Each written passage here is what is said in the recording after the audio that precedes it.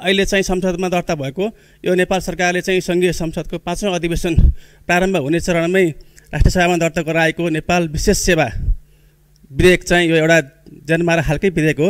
र यसका सम्बन्धमा हामी प्रमुख प्रतिपक्ष नेपाली काङ्ग्रेस लगायत सरकारवाला मिडियाहरू र आम नागरिकहरूको चाहिँ यसमा गम्भीर ध्यान आकर्षण भएको छ। सरकारद्वारा अगाडि बढाइएको यस विधेयकले नेपालको संविधानको मौलिक हकले सुनिश्चित गरेका नागरिकको स्वतन्त्रताको हकलाई कुण्ठित गर्नेछ। नागरिकका हरेक सूचनाहरू यहाँबाट चुहावट हुनेछन्। गोपनीयताको हक पनि भङ्ग हुनेछ र समग्र नागरिक स्वतन्त्रतालाई यसले समाप्त पार्नेछ। यस्ता प्रावधान राखी संविधान प्रतिकूल हुने गरी आएका यस्ता विधेयकहरूलाई हामी त्यसलाई स्वीकार गर्न सक्दैनौँ। निरङ्कुश कालरात्रि पञ्चायत विरुद्धको आन्दोलन उत्कर्ष पुग्ने बेला दुई हजार बयालिस सालतिर राजनैतिक दलहरूले गरेको प्रजातन्त्र प्राप्तिको आन्दोलनहरूलाई दबाउने रणनीतिका रूपमा खडा गरेको ऐनलाई अहिले कम्युनिस्ट सरकारले फरक विचार फरक दल र प्रतिस्पर्धी जोसुकैलाई ठाउँको ठाउँ समाप्त पार्ने रणनीतिका साथ यो विधेयक अघि बढाएको हो। विशेष सेवा समूह प्रधानमन्त्री मातहत रहनुले नै राजनैतिक आग्रह र पूर्वाग्रह साध्ने नियत स्पष्टै देखिन्छ। केही परिघटनालाई हेर्ने हो भने फरक दलका मात्रै होइन फरक विचार राख्ने सत्तारूढ दलकाहरूलाई नेताहरूलाई समेत यो विधेयक खतरा पुर्याउँछ र यो लोकतन्त्र विरुद्धको जासुसी पनि हो। विधेयक मार्फत सरकारले प्रति जासुसी काउन्टर इन्टेलिजेन्स संयन्त्र निर्माण गर्न लागेको छ। प्रधानमन्त्री मातहतका प्रति जासुसी संयन्त्र रहनेछ संयन्त्रलाई रक्षात्मक प्रतिरक्षात्मक र प्रतिकारात्मक कार्य सञ्चालन गर्ने अधिकार दिन यो विधेयक मार्फत प्रस्ताव गरिएको छ। त्यस्तो संयन्त्रले टेलिफोन कम्प्युटर इन्टरनेट जस्ता माध्यमहरूबाट जनताको अधिकारहरूलाई चाहिँ इन्टरसेप्ट गर्ने प्रस्ताव पनि यसमा गरिएको छ। विधेयकले विधेयकका प्रावधानले कुनै पनि व्यक्तिको निजी जीवनमा राज्यको सिधै हस्तक्षेप हुने देखिन्छ। लोकतन्त्रको भर्याङ चढेर निरङ्कुशतातर्फ उन्मुख हुने यो एउटा प्रवृत्ति यसमा स्पष्टै देखिन्छ। तपाईँहरूले लेखेर राख्नुहोस् म यहीँ भन्न चाहन्छु। जुन नियतिका साथ नेपाल ट्रस्टको ऐन बहुमतका साथ पास गरियो अहिले त्यसका नतिजा देखे देखेका छन्। त्यस्तै अरू कतिपय ऐनहरू तपाईँहरू हेर्नुभयो भने त्यसका पनि प्रभावहरू अब बिस्तारै आउने क्रम छँदैछ यो पनि त्यस्तै अर्को प्रकृतिको श्रृङ्खला खतरनाक श्रृङ्खला हो। अब हामी telephone mobile messenger email social media लगायत कुराहरूमा कुरा गर्न डराउनु पर्ने दिन आइसक्यो। श्रीमान श्रीमती बिच भएका सबै कुरा अब सरकारले हेर्नेछ सुन्नेछ टेपिङ गर्नेछ। विदेशमा भएका हाम्रा लाखौँ नेपालीहरू अब घर परिवारसित खुलेर गफ गर्न पाउने छैनन्। बिहे गर्ने उमेर भएका भाइ बहिनीहरू प्रेम गर्नुभएको छ भने तपाईँहरूको सबै खबर त सबै म्यासेज अब सरकारले सुन्नेछ हेर्नेछ र जोसुकै माथि पनि यो ब्ल्याकमेलिङ हुने स्थिति छ।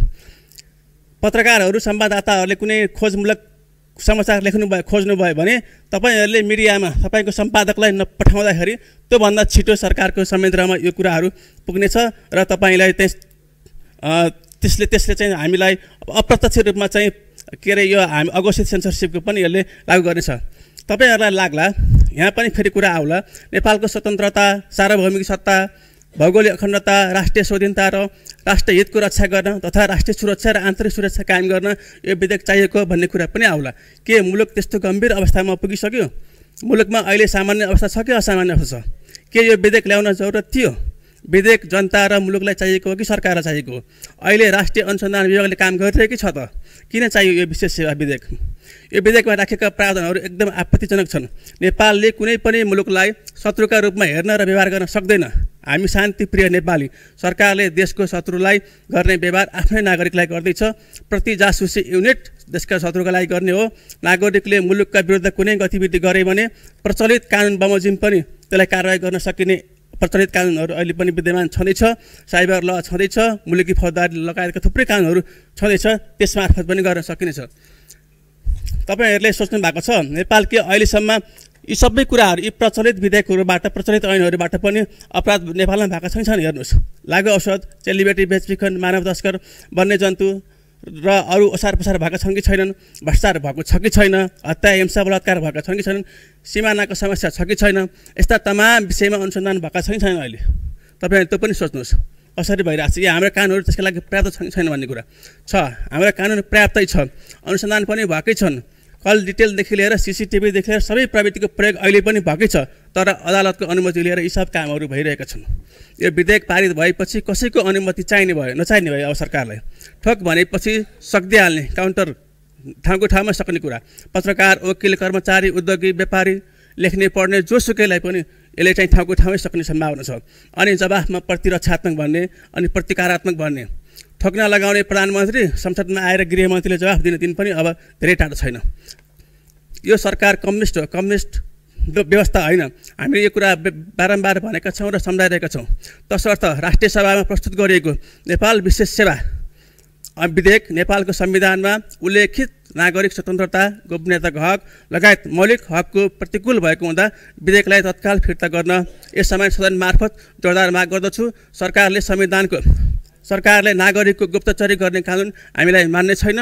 संविधानको प्रतिकूल र नागरिकता स्वतन्त्रता र हित विपरीत हुने यस्ता जन्माएर खालका विधेयकहरू प्रस्तुत नगर्न प्रमुख प्रतिपक्ष दल नेपाली काङ्ग्रेस सरकारलाई ध्यान आकर्षण गर्छ। धन्यवाद। जय नेपाल। मान्य सदस्यज्यूले विषयवस्तुलाई अलिक बढी नै अतिरञ्जित ढङ्गले प्रस्तुत गर्नुभयो। दुई हजार बयालिस सालको कानुन संशोधन नहोस् तत्कालीन प्रजातान्त्रिक आन्दोलनलाई दमन गर्ने ऐन कायम रहोस् भन्ने त उहाँको भनाइ पक्कै होइन होला।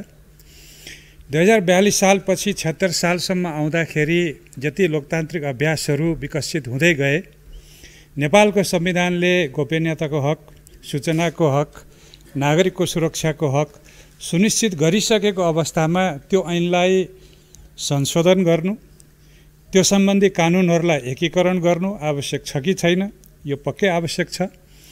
त यो कानुनले मूलत अपेक्षा गरेको हाम्रो राष्ट्रिय स्वतन्त्रता भौगोलिक अखण्डता राष्ट्रिय स्वाधीनता राष्ट्रिय हित सामाजिक सद्भाव यी सबै कुराहरूलाई व्यवस्थित गर्न राज्यको दायित्व हुन्छ नागरिकको हक हित सुरक्षा समेतको।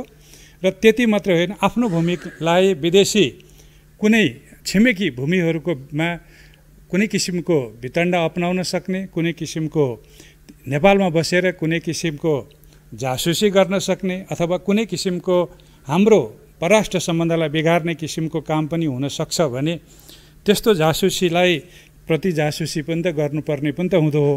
हामी अघि यहाँ पञ्चशीलको पनि कुरा उठिरहेको थियो असंलग्न परराष्ट्र नीतिको पनि कुरा उठिरहेको थियो। यो सबै सन्दर्भमा हेर्ने हो भने यो त्यतिखेरको कानुनको संशोधन आवश्यक छ। अब बाँकी र त्यसभित्रका दफाहरूको बारेमा सम्मानित सदनले त्यसभित्रका कुन कुन दफाहरू मुलुकको शान्ति सुरक्षाको लागि मुलुकको नागरिकको मौलिक हकको कार्यान्वयनको लागि अथवा राष्ट्र हितलाई अघि बढाउने कुरा र सामाजिक सद्भाव कायम राख्ने कुरामा कुन कुन बुँदाहरू प्रतिकूल हुन्छन् त्यसमा त फेरि छलफल गर्ने बेला आइ नै हाल्छ।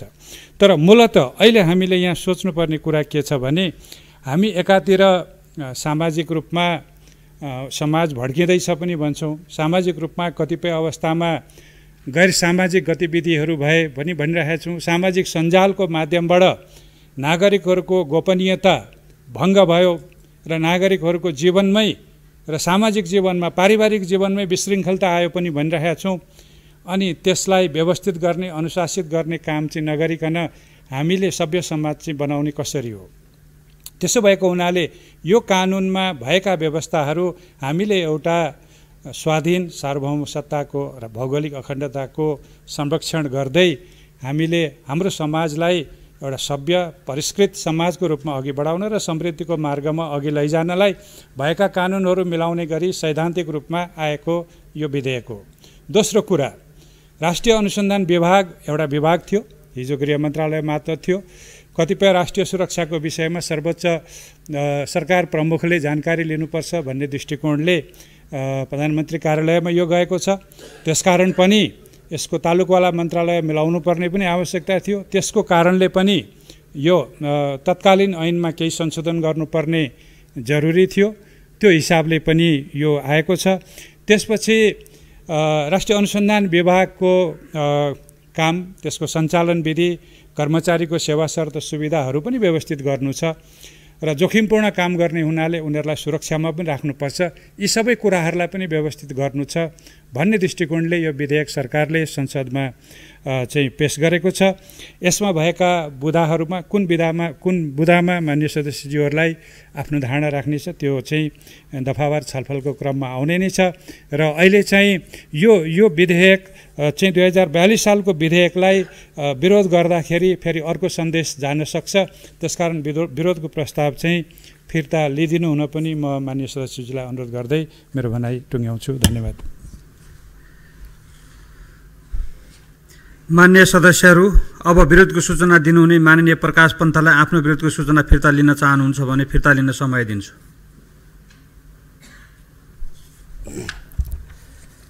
सम्माननीय अध्यक्ष महोदय यो नागरिकको स्वतन्त्रता ठाडै हनन गर्ने खालको विधेयक नागरिक र जनता मार्ने खालको विधेयकलाई हामी फिर्ता लिन चाहन्नौँ। धन्यवाद। सबैको सबैभन्दा राम्रो रातोपाटी डट कम।